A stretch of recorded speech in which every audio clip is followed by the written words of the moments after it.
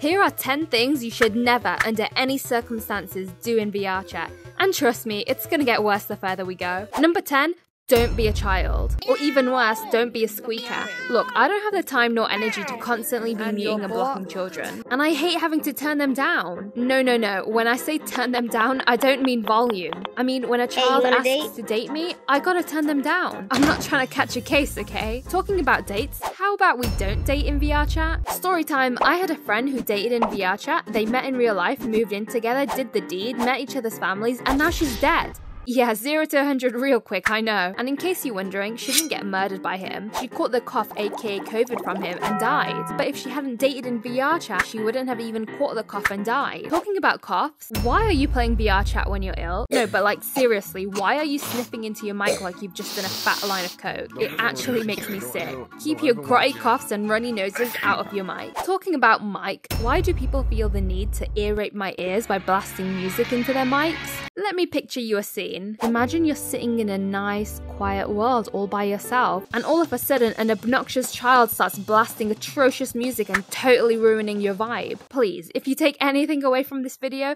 hit the mute button before you blast music, or just go to your own world, sit by a mirror, and blast whatever sounds you like. Talking about mirrors, do not, under any circumstances, look into a VR mirror. No, but seriously, not even a glance, not even a peek. The minute you do, you'll forever be engulfed in an endless cycle of self obsessed mirror gazing that'll keep you in a trance for hours and hours. I mean, let's be real, mirror people are everywhere in VR chat. But you know what else is everywhere? Drunks. Who thought it was a good idea to drink in VR chat? Imagine putting yourself in a super vulnerable state whilst around children, creeps, predators, or even worse, Karens. Honestly, sometimes I feel like I'm not even in VR chat, but rather a pub, or as you Americans like to call it, a bar. Talking about Americans, why are fat people? Oh my god, I'm joking, relax.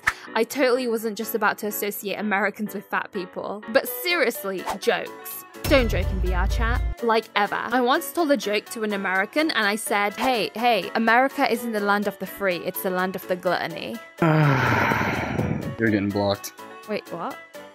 And he blocked me. I honestly don't get why people take jokes so seriously. You know who else takes things so seriously? Trusted users. Never play VR chat long enough to get a trusted rank. AKA, don't live in VR chat. Come on, guys. But seriously, why are you sleeping in VR? You wake up in VR, you eat in VR, you get drunk in VR. Where does it end? Mark Zuckerberg's literally got you in a chokehold. Actually, no, it's even worse. Zuck's got you on a leash. Talking about leashes, let's talk about the sexual stuff in VR chat. Do you ERP in VR chat? Do you brag about all the women you've e-dated? Do you date someone for six and a half months, get to know every intimate detail of each other, make plans of marriage and babies, only to suddenly go ghost and start dating a minor within a few days of the breakup? Sorry, that was so specific and totally wasn't a personal experience of mine.